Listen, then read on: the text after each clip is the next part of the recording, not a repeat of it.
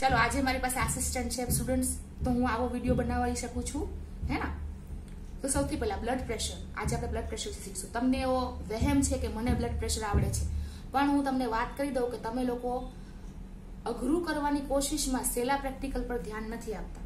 દાખલા તરીકે કુછ કુછ હોતા એમાં કાજોલ છે ને એ રાણી મુખર્જીની પાછળ ફર્સ્ટ હાફમાં ભાગે. એટલે જે ઓલરેડી પોતાની હતી ને બહુ સહેલી હતી મેળવવાની સેકન્ડ હાફમાં એ કોલે એ કાજોલની પાછળ બહુ મહેનત કરવી પડે. તો તમે સીએનએસના પ્રેક્ટિકલમાં કરવામાં એટલું બધું ધ્યાન આપો છો સીએનએસ સિસ્ટમ વાંચવામાં, કે એકદમ સેલા સેલા પ્રેક્ટિકલ. ટેમ્પરેચર તો આવડે બીપી તો આવડે પલ્સ તો આવડે સ્પોટિંગ તો આવડે, કરતા નથી. તો હવે મારે આજે શું કરવાનું છે ખબર? સેલા પ્રેક્ટિકલમાં ભૂલો કાઢવાની છે તમારી. તો સૌથી પહેલા બ્લડ પ્રેશરમાં તમારી ભૂલ ક્યાં થાય છે ખબર? રાઈટ સાઈડ ઊભું રહેવાનું. પેશન્ટ સુપાઈનમાં હોવું જોઈએ રાઈટ સાઈડ ઊભું રહેવાનું. મારી પાસે જે સબ્જેક્ટ નથી, એટલે પેશન્ટ સુપાઈનમાં હું તમને બતાવી નથી શકતી. છતાં પણ હું તમને અમુક ટેકનિકલ પોઈન્ટ બતાવીશ. તો આજે આ વીડિયો છે ને બે રીતે બનશે. એક તો પાછળના કેમેરાથી, જેમાં હું તમને ટેકનિકલ પોઈન્ટ બતાવી દઈશ બીપી ઇન્સ્ટ્રુમેન્ટના અને સેકન્ડ વિડીયોમાં હું તમને બતાવીશ કે બીપી કફ કેવી રીતે બાંધવો. કારણ કે બીપી કફ તમે બાંધો ને ત્યાં જ ખબર પડી જાય કે આ સ્ટુડન્ટને પ્રેક્ટિકલ આવડતો નથી. બરાબર? તો જો તમારા પાપા ડોક્ટર હોય કે તમારા પાસે બીપી ઇન્સ્ટ્રુમેન્ટ હોય ઘરે, તો તમે બીપી કફ બાંધવાની પ્રેક્ટિસ પચાસ વાર કરજો. કારણ કે છેક સુધી તમારે બીપીનો પ્રેક્ટિકલ આવશે. મારા મેડિસિનના સબ્જેક્ટમાં મારી યુનિવર્સિટી એક્ઝામમાં એક્ઝામિનરે મારી પાસે બીપી મપાવડાવ્યું. ઓકે એમાં એવું થયું હતું કે સર્જરીની ટર્મમાં ગુલાબ સર હતા. બહુ મસ્ત ટીચર હતા. તો સર્જરીની ફાઇનલ યરમાં સર્જરીની પહેલી ટર્મ. મને કીધું, છોકરી બીપીમાં લેડી હતી. તો મેં બીપી કફ બાંધ્યો. તો મને મારા સરે કહી દીધું કે, બેન, તને બીપી લેતા જ નથી આવડતું. પછી મને આઈડિયા આવ્યો. પછી મેં શું કર્યું? બીપી કફ બાંધવાની પ્રેક્ટિસ કરી. હું રોજ વોર્ડમાં જાઉં અને બીપી કફ બાંધું. અને આને બ્લડ પ્રેશર કફ કહેવાય. તો હું રોજ એક માણસનું બીપી લઉં, જરૂરી હોય કે ના હોય, મારા શીખવા માટે. આનો મને ફાયદો શું થયો ખબર? એક્ઝામિનરે મારો લંગ્સનો પ્રેક્ટિકલ હતો એના વિશે વાત કરીશ, જ્યારે આપણે લંગનું ક્લિનિકલ શીખશું ને ત્યારે. તો એ તો બહુ સરસ ગયું. પણ એને જોવું હતું કે હું વોર્ડમાં કેટલી આવું છું કેટલું મહેનત કરું છું. તો એને મને કીધું કે ભાઈ આમ આનું બીપી માપતો. તો એને ખાલી મારું જોયું કે મને બીપીનો કફ માપતા આવડે છે કે નહીં. મેં બીપીનો કફ સરસ બાંધ્યો. ખાલી બેથી ત્રણ સેકન્ડમાં બીપીનો કફ બાંધી દીધો. મને એને પેટ કર્યું. બહુ સરસ બેટા. અને મને મેડિસિનમાં ગોલ્ડ મેડલ મળ્યું. મારી એક્ઝામમાં મેડિસિનમાં મારો ગોલ્ડ મેડલ હતો અને મેડિસિનના પ્રેક્ટિકલમાં મારા એટલા વધારે માર્ક્સ હતા કે હું પહેલી વાર મારી જિંદગીમાં ચોથા નંબર પર મેડિકલમાં પાસ થઈ. So this is the story કે એક કફ તમને સારો બાંધતા આવડી શકે તો તમને ગોલ્ડ મેડલ મળી શકે. તો કહેવાની વાત એમ છે, થોડું ડાયવર્ટ થઈ ગયું બેટા. પણ આ પ્રેક્ટિકલ છેક સુધી આવશે. આ તમારા બધા ક્લિનિકલમાં આવશે. હે ને? અને આ તમારે ડોક્ટર બનવાનું હોય તોય તમે ભાઈ કાર્ડિયોલોજિસ્ટ કેમ ના હોય? બીપી તો તમારે લેવાનું જ છે. જો તમે બીપી નહીં લો ને, તો તમને ખબર શું કહેશે? ડોક્ટરે મને સ્ટેથો ભી નહીં લગાડ્યું, મારું બીપી ભી નહીં લગાડ્યું, નહીં લીધું. એ પેશન્ટ તમારી પાસે બીજી વાર નહીં આવે. ઓકે તો આજે જો હું તમને ટેકનિકલ મુદ્દા કહું છું ને, એ ધ્યાનમાં. રેડી બેટા, હવે જરા અહીંયા ફોકસ કરજે. અહીંયા આ દેખાવ જોઈએ પાર્ટ આટલો પાર્ટ દેખાવ જોઈએ. રેડી જો, હવે આ છે ને વાલ છે. હવે જો તમને આ પૂછે એક્ઝામમાં તો ભાઈ બીપીઈ ઇન્સ્ટ્રુમેન્ટના બે લીમ છે, આને શોર્ટ લીમ કહેવાય અને લોંગ લીમ કહેવાય. નાનો ભાગ, મોટો ભાગ. Short limb is a mercury reservoir અને આ ગ્રેડેડ ગ્રેડેડ છે, આના પરથી આપણને ખબર પડે. મિલીમીટર ઓફ હાઇડ્રોજીરમ બરાબર? એમએમએચજી મિલીમીટર ઓફ હાઇડ્રોજીરમ હું તમને બીપીનું રિઝલ્ટ કેમ બોલવાનું ને એ પણ શીખવાડીશ.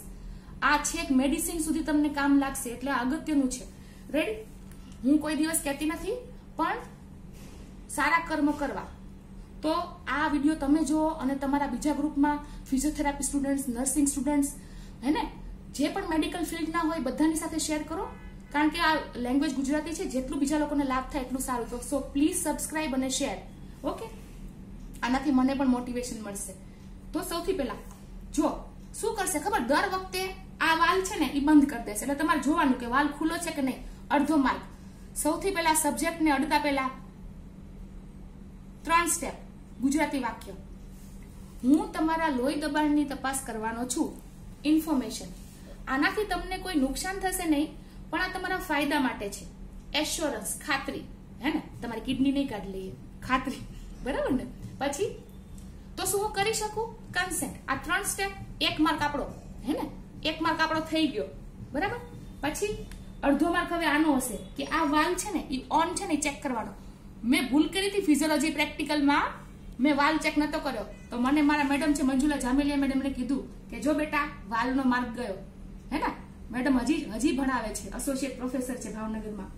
ચલો, તો અહીંયા અત્યારે વાલ ઓન છે. જો, આ વાલ ઓન આ વાલ ઓફ આ વાલ ઓન એટલે ખાસ ધ્યાન રાખજો પ્રેક્ટિસ કરો.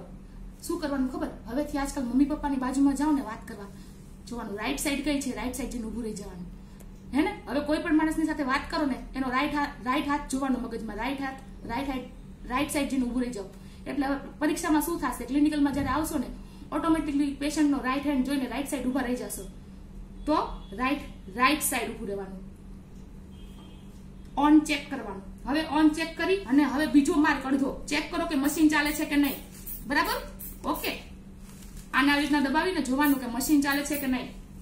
રેડી થઈ ગયું ક્લિયર હવે હવે આ વીડિયો મારે પૂરો કરવો પડશે, કારણ કે હવે મારે ખરેખર બીપી કફ કેમ બાંધવો હોય શીખવાડવાનો છે, પણ હું તમને અમુક ઓસ્પી પોઈન્ટ કહી દઉં, જે તમે ભૂલો કરો છો.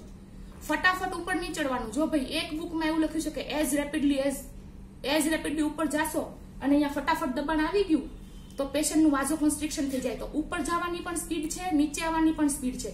તો ઉપર જતી વખતે અહીંયા જોવાનું, દસ મિલીમીટર એચજી હે ના?